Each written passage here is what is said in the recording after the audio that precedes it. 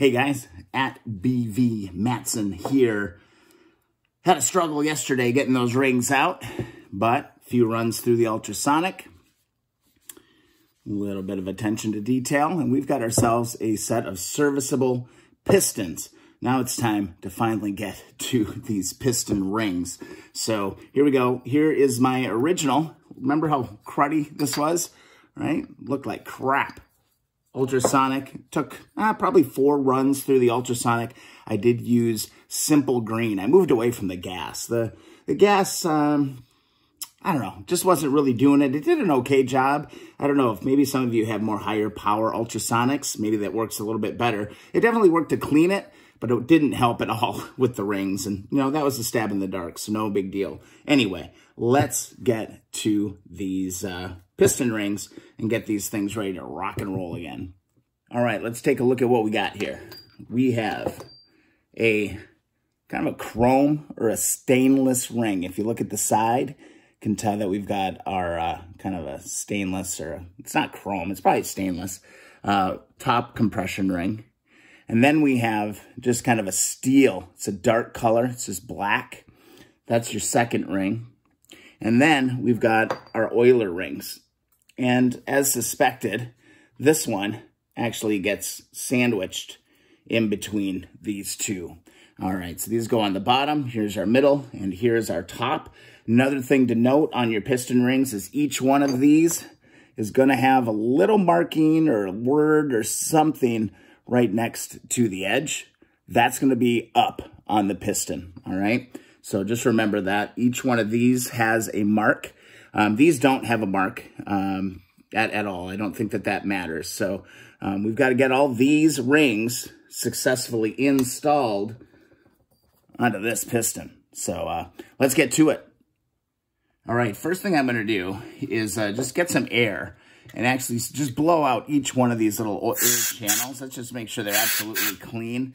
I mean, I have very little um, reason to believe that there's a bunch of gunk trapped in these little oil ports. But just take, uh, take a minute and just blow each one of these out from the front side and the back side. And uh, should be in good shape. I just want to make sure I've got these ports clean because this is really, really important.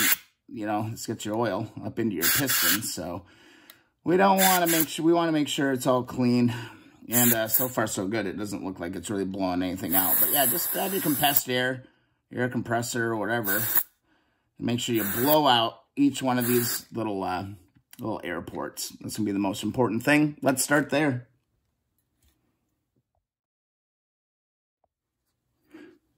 All right, we got that all blown out. And uh, one thing I do want to try today is that I was kind of watching some videos on some tips to get these things to install. And somebody actually used a few little plastic guides. This is some kind of thin plastic. I'll link to the video right here um, that I saw. And I just thought it uh, made a lot of sense as far as, you know, getting these things slipped onto space. Because I think what really kills you is if you too aggressively pull on these, you know, they're, they're, they're, they're going to break, you know, as, as we noticed yesterday. So um, I want to rig that up. But first, I really want to get, get this thing lubed up. So I'm going to use my Magic Mystery Oil or Marvel Mystery Oil and actually, you know, really lubricate up this section of the piston uh, so I can have a little bit of an assist when I uh, get these rings going. So I'm going to be pretty liberal about it here today. Um, and just make sure that I get a lot of oil in these areas, especially over the top, um, to be able uh, to slide these things on. Now, I want to try it a couple different ways. I mean, this is all a very experimental channel. Again, I have never done this before at all. So um, by no means an expert. But what I did like about that method is that it made sense that this would really limit the amount that um, you had to, you know, really stretch those rings. So what I'm going to do is I'm just going to position three of these around the piston. This is cut from an old piece of, uh, you know, packaging. I'm going to throw a rubber band around these, okay? So then the next thing that I'm going to do is I'm going to get these e e equally kind of pulled apart, pulled around here. And then I'm going to actually lube up the plastic piece as well. Okay, I'm just gonna make sure that we have lots and lots of lubrication for this process, all right? Really, really don't care. This is an old towel. I don't care at all. I just want to make sure I have lots of lubrication uh, when I put these rings on. So there we go. So first step in all of this, your first ring that you're going to install is going to be this wavy one, your oil ring, okay? And when you install it, see if I can give you a good look at this, you're going to want this thing to actually butt up against it. See that? Boom, boom. It should sit there like that. It shouldn't be overlapping, okay? I really, I got to give a, a, hat tip to uh, Saturday's Wrench here, too, because he did an amazing job of filming a top engine rebuild, and I picked a, up a ton of information from that. Uh, but that's the proper way for this thing to go together, okay? So what I'm going to do, this goes in our bottom slot. I'm just going to gently get this around each piece of my plastic here. And what I'm going to do is I'm going to slide her down. All right. And then my idea was, is, well, it is because we're doing it. Um, it's actually just to pull these sheets down as I get things where I need them to go. And look at, so far so good. It's working really well on this oil ring. This is a good test. And there we go, okay? So now what I want to do is I'm going to slide this back up. It's going to help if I think, too, if I just put it right on the edge of the actual piston. Move this up just a little bit, hold them in place. Now we can go ahead and we can attack one of the retainers. So here's my piece, sitting here just like this. Give my hands a little wipe. And then we're going to grab one of the two. Remember that two that were stuck together? These are rings. Now, there are no markings on these that these go up or down. There's not a marking on these at all. Uh, so what I'm going to do is just carefully get this started over my plastic pieces. Yeah, I already kind of feel, already feel a little bit more confident other than just trying to gauge it with my hands. So I just want to get it around one. Get it around the other. And then hopefully slide that down. All right. Beautiful. See that? That actually, I think this is going to work out very, very well. Um, now we're just going to slide this bad boy down into its position. And again, be micro movements with everything that you're doing. I'm actually going to keep adding oil to this to make sure that everything is sliding really, really well. And then I'm going to actually position this below the oil ring, okay? Again, I don't want to torque these rings, like, at all, if possible. So I'm hung up here just a little bit, but boom, boom, boom. Bring that down. And then see how I've got this started on this edge. I'm going to do the same thing on this edge, just like that. Make sure I'm underneath that oil ring which it looks like I am, and then find my edge. Here's my edge, and then I'm just to slowly kind of hold this ring where it is and then pull this plastic retainer out. There it went. See that? Popped right in. Let's work our way around it. I'm to hold that ring. And then what I'm to do is pull that out. Beautiful. Now we got one more to go, okay? So I'm just going to line this up. Again, be really careful on torquing these rings. And bam. See that? That's nice and smooth. That's spinning. Now we've got to go ahead and put the top in.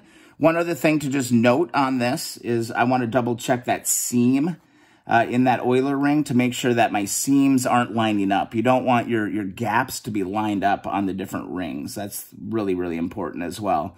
Um, but for now, it looks like I'm going to be able to spin these free. So let's go ahead and, and repeat the process. I'm going to go ahead and move my slide up. I'm going to grab another one of my plastic shields, slide that on. And I'm going to grab another one. I'm going to kind of go three around, kind of thirds, just kind of doing it in thirds. Come on, get on there. I think once I use these a few times, they'll, like, they'll like start getting real solid um, and get that shape of the piston. Because right now you can kind of see they're popping up just a little bit. I got to really, really watch that. But anyway, let's go ahead and get the second one installed. And again, there's no mark or anything on this. Uh, so it can go either way from the looks of it. And what we're going to do is we're going to, again, carefully, I'm going to also make a note of where my seam was on this one.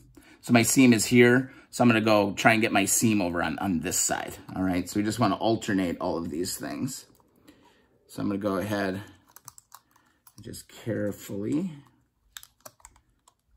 get that around. It's kind of nice because you can kind of bend the plastic inward and then it just naturally kind of limits how much tension you're actually put, putting on that ring when you're pulling it apart. Um, I, I, love this method. And again, I, I, linked to that video where this guy walked through this whole process. It, it, just made sense when I watched it. I was like, okay, I get that. That, that works. So I'm just going to push this down into here. But my hands are really oily. And there we go. Okay, so then see, I don't have to do a whole heck of a lot of finagling now. I can just slowly kind of march this ring down the cylinder. God, I love this method. I, I got to go leave a comment on that video because um, this is super, super, super helpful. And then uh, we're just going to work our way down, and this is going to go on top. This is going to go on top of the oil ring. So we've got one on the bottom, one on the top. So I'm just going to move this down. I'm to get this started there, and then I can move the rest of my ring into position, just like that. Straighten this bad boy out just a little bit, like that. Perfect. And then I'm going to oil up. Oil that bad boy up. All right, and then we can actually just pull this plastic piece out. A little bit looser rubber band would be nice. And bam, dropped right in there. See how that dropped in? Beautiful, beautiful, beautiful, beautiful. Okay, now I'm just going to slide this down. I'm going to start trying to pull this one out.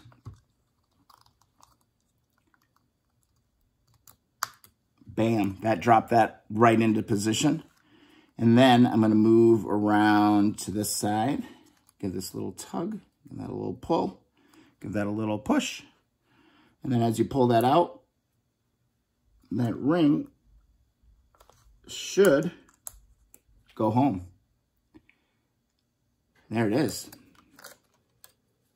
All right. Nice and free and installed. That's how it should be, okay? Nice and smooth, nice and easy. I'm actually going to double check to make sure that I don't. So here's one of my gaps. I want to make sure that my other gap is far away. Actually just going to spin that one just around just a little bit more because here's one gap and here's the other gap. I kind of want this to be a little bit, a little bit further away. So I'll work on spinning that around. That's great. So boom. So far, so good. I'm absolutely loving this method. All right, I've got my uh, my little slides repositioned. Again, they're just down on the edge. This is awesome. The the guy in the previous video, he didn't use a rubber band on this. He was just holding it in place and then pushing stuff on. Um, I kind of like the control that I'm getting out of this rubber band. So I'm just going to keep rolling with it and uh, see what see uh, see if it keeps going well. Because so far, so good. That was a piece of cake. I'm going to lube this up really, really good again. Get these plastic things sliding. And also I'm gonna oil up my slots again as well. All right. And boom. Okay, so now we're ready for that second ring. And remember, the important part on this ring is that the numbers are going up. And when you look at your rings, see if I can give you a look at this. One is silver, one is not on the edge. The silver one is top, so that's the last one that we're actually going to install. We want to install this one next. So this is going to go into the middle row, row right there, okay? So let's give this a try on something a little bit thicker.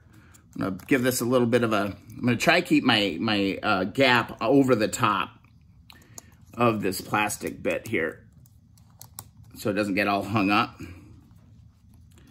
Use my fingers to push that open. Yeah, dude, I love this. I absolutely love this method. I mean, you are literally, you're putting minimal stress on that, on that ring um, as, as you kind of work this over. Because again, these are really not forgiving. And that was the big wake up call yesterday. It was like, whoa, these things are no joke. It's really helpful to get the edge of one of these rings onto your plastic piece for sure. Um, that's that's uh, being really helpful right now because it's not falling into any of these gaps. And I'm just going to pull it down, get it lined up. See how I'm lined up on that? Just like that. And I'm to hold it with one hand Actually, let's pull this one first. Get this right over where I need it. I'm gonna hold that in position. And see if I can just shift this one over. There we go, bam. Then I'm gonna go ahead, oops, carefully reposition that. Yep, that dropped right in. Now I can pull this one. See, I'm just pulling that out. Boop, there we go. Go around to this side. Make sure you're all lined up and then give that just a nice little pull. And then we're over on this edge and we're just gonna pull that one just like that. Bam. Nice and free movement on that. That's good. I feel really, really good about that. Really good about that. How about that? That is the way um, to do this for sure. Um, bam. Then we get our compression kit in and that is going to be absolutely beautiful. Again, these are stock pistons. So I just have the replacement kit, the normal old replacement kit. And uh, yeah, that is uh, a beautiful thing. So let's go ahead and install that last one. So I'm going to go ahead and pull my plastic pieces back up. Just like that. See, I pulled one of them out, so I got to put one back in. That rubber band down. Boy, my hands are so greasy right now. Oh my God. I can barely hold on to this thing. I'm going to give my hands a wipe here before I get too deep. So again, I'm going to note where that gap is. Here's my gap on this one. And I'm just going to alternate that. So I'm going to go boom. I'm going to do it over here. So we don't have those gaps in the rings showing up all over the place. So again, repeat. Going to go ahead, oil this up, oil this all up. It's like that. Thrilling video, guys, but I think it's a really good technique. What do you guys think? I'd love to hear your opinions in the comments. Absolutely love that. I'm just going to push these up just, again, a little bit. Just enough so I can get out. Ooh, this one got a little wonky on me. I'm actually going to flip this one around. Try to keep a nice smooth edge if you possibly can. Boop, boop, just like that. And then we're going to take this ring. And again, just make sure that your numbers are going up on these. Remember, that little mark, that's what you want up. All right, got you a little bit better camera angle here. Um, so we can get this last ring installed on this piston. Keep going. And again, remember, number uh, letters up. And that's going to go in our top ring position. I'll loop that around here. Actually, let's go like this. Go like that, and then like that. Like that. And if I can get, it's kind of nice when you got a little bit of play with it. You can kind of pull it up into there, and then give those a little push.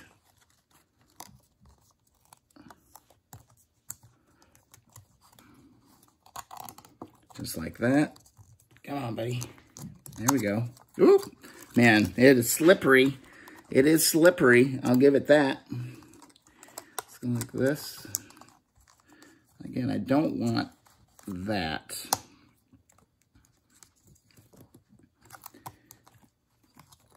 Here we go. There. Oh, almost had it.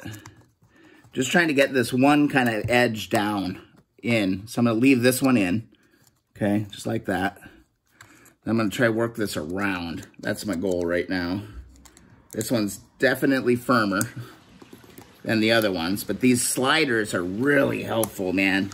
There we go. Got it around and it dropped it in. Bam, just like that. It really, really, really helps limit how much pressure you're putting on these on these things. So now I can just take this one. It's all lined up. It's beautiful. Let's take this one, pull it out. Take this one and pull it out. Take this one, pull it out. And there we go. All free moving. Want to make sure that we alter these piston rings. Let's actually take a look at that because there is a uh, a, a, piece that I saw in the manual about uh, spreading these out and spacing these all out. So, bam, it can be done.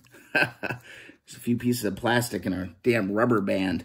Um, this is going in the toolkit. This is super, super useful.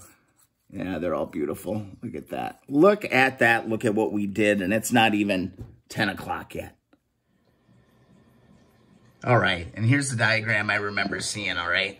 Um, it's 120 degree uh, separation on the different, um, you know, breaks in those different rings. You just don't want those all lined up. You want them all spread apart 120 degrees. So I'm going to go around the piston, make sure I've got those clearances um, on those, and I should be good to go. And again, this is the original piston. This was in the motor, and I got a complete rebuild kit of piston rings for this. So I'm very confident in, in, in the right parts and everything for this engine. I, I feel good about that. One last thing to do on this piston before we go ahead and put it back in. Um, we got to put in one of our uh, little retainers. It's going to make, make it a lot easier instead of uh, having to try to install that from the inside here when we got these kind of bars in the way. So let's go ahead and, and put that side in. All right, another little important point of uh, kind of reference that you want to pay attention to. It's kind of hard to see on this cylinder or on this piston, but on this one you can clearly see the arrow and it's pointing to the left. That actually means towards the front of the engine. Another indicator would be this little, uh, the, the little groove, that indentation. Uh, that's going to go towards the front as well. So this is my left side cylinder. It's to drop in there just like this. So like there's my starter motor. That's the front of my motor. There's my notch. And then it's hard to see on this one, but there it is. There's that arrow. It's pointing towards the front of the motor. So I actually need to install this clip to make my life a lot easier down the road. Let's do it. All right, let's go ahead and install this. Again, it goes, there's a really little groove. See it? Little groove down here. It's where we want to install this clip. And it's really nice if you can get one of these ends here to go into this groove as well. It just makes it easier if you ever do have to take it apart. So just going to give that a push. Doing this with my fingers. It goes in easy enough. Boop, boop. There you go. All right, so that clip is in there, and it's perfectly in there. See how there's a little bit of a gap on that? We'll be able to pull that out pretty easily in the future if we need to deal with it. Rotate it just a little bit if you want, but um, that's how I've seen it be recommended that you do it. And then there you go. So now we don't have to deal with that side. Um, when we put the actual piston in into the bike, we can just slide the pin in and put it in on the outside. So um, there, I mean, that's it. I'm to go ahead and uh, oil this all up really, really good. I do have a bottle of assembly lube as well that I'll be using on, uh, you know, some of this stuff in here. We want to make sure this thing is really, really well lubricated uh, when we when we get to that point. But I've got another piston to go. What do you guys think of this whole process? All right, three little pieces of plastic that I curved out, a rubber band, and uh, actually made that job go pretty easy. I hope you guys enjoyed the video. I got to get to this other piston, get the other one ready to go. Um, I am going to double check um, the measurements on this uh, just to make sure. So I did pick up a micrometer and, and all kinds of stuff, but I, am very, very confident. I mean, look at look at all of these these different markings and everything. It all looks the same. All right, we'll see. Who knows? We'll probably run into some other jam as well, but uh, whatever. All right, guys, thanks so much for watching. Uh, if you enjoy the videos, please thumbs up. Also, subscribe if you haven't done that. Um, also, hit that alarm bell so you see the videos when they come out. And uh, follow along, Instagram and Twitter, at BV Matson. We're making progress. And uh, yeah, I got to swing, swing these around a little bit. Make sure they're not overlapped. All right, guys. See you in the next video.